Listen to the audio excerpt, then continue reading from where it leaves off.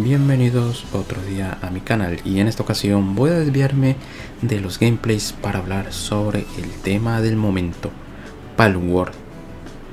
En estos días se ha dicho de todo sobre este juego que está ahora mismo en Steam y está creciendo como la espuma. Se ha dicho que es un plagio de Pokémon, que va a acabar con Pokémon, que es mejor que Pokémon y más cosas las cuales voy a tratar aquí.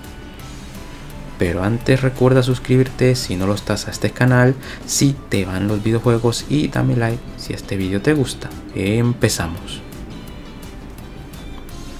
Primero, Palworld es un plagio de Pokémon.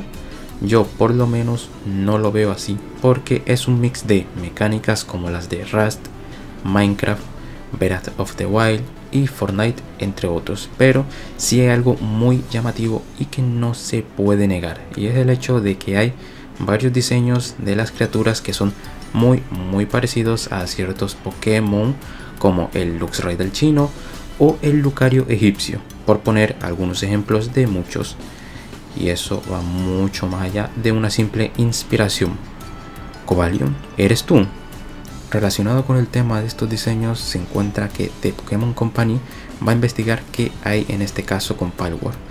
En este tema solo digo y espero que por el bien de Palworld que no hayan cogido los modelos 3D directamente de los juegos de Pokémon y le hayan hecho las pequeñas modificaciones entre comillas porque de lo contrario podrían estar en un problema legal muy muy gordo y es muy sencillo descubrir el rastro de un archivo y no, no tiene absolutamente nada que ver con supuestas demostraciones que hay por Twitter, sino a cosas que ya entran de lleno en auditorías informáticas, informática forense y análisis informático, ya que esto es lo único válido ante un juez.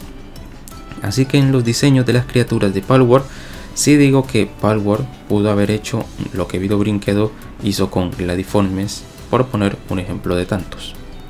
No se puede comparar a Pokémon y a Palworld, ya que son de géneros distintos y son cosas distintas. No compares los olmos con las peras. Uno es Rust con criaturas y el otro es una aventura de combates por turnos. De hecho hay una mecánica de Palworld que me parece interesante y es la del sistema de esclavismo. Sobre lo del mod de Pokémon que Nintendo está eliminando, incluido los videos y fotos, pues eso sí es contenido directo de ellos y no hay mucho que ahí. Para mí, como se dice en Colombia, dieron mucha papaya, ya que todo el mundo sabe de sobra cómo se comporta la buena de Nintendo en estos casos.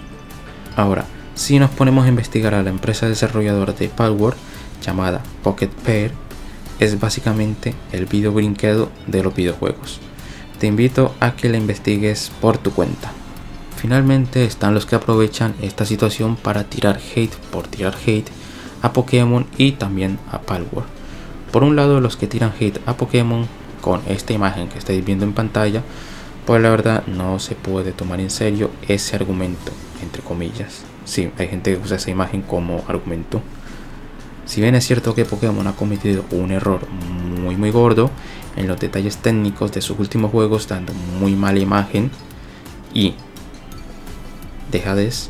Por ello tampoco es para anunciar la creación de la panacea con Palworld o cualquier juego que se diga va a desbancar a Pokémon, incluido la propia muerte de Pokémon. Sobre Pokémon y sus errores ya haré un vídeo hablando de eso, porque eso es harina de otro costal. Y los que dicen que Palworld es un plagio de Pokémon, pues ya he hablado de eso antes en este mismo vídeo. Sinceramente, para mí, Palworld es como Mobile Legends Bang Bang, sí, así se llama.